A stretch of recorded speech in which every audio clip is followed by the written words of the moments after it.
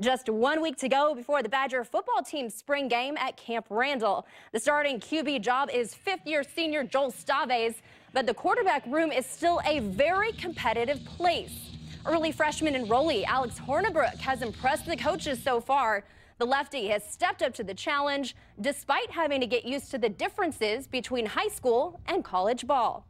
Probably just how every single day we're either in the film room on the field.